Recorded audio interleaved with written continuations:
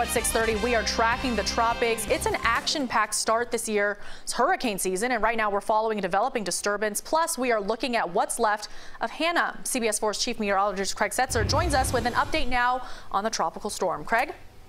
Francis, uh, it was just 24 hours ago that tropical storm Hanna, well, actually Hurricane Hanna, strong category one, was just making landfall there on Padre Island in Texas, and now it continues to weaken, now down to a tropical depression. 35 mile an hour winds. Of course, the big thing is just going to be rainfall over the next day or so right here in the Rio Grande Valley and over the northeast mountains of Mexico. So flash flooding and a flash flood threat remains very, very high possibility that continues as we go through the early part of next week. There's a satellite loop through the day today. You can see the circulation not as defined as it was 24 hours ago. Still there, though, winding down over that mountainous terrain.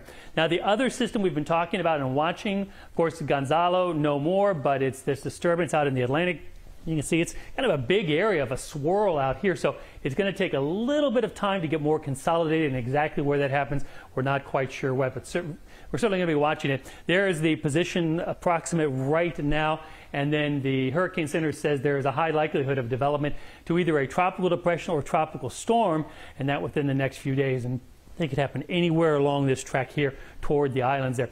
Here's the latest models, and they'll get your attention if you haven't seen them because it's basically a westerly motion here. This is in the islands area sometime later on Wednesday, Thursday, and then by Friday, five days from now.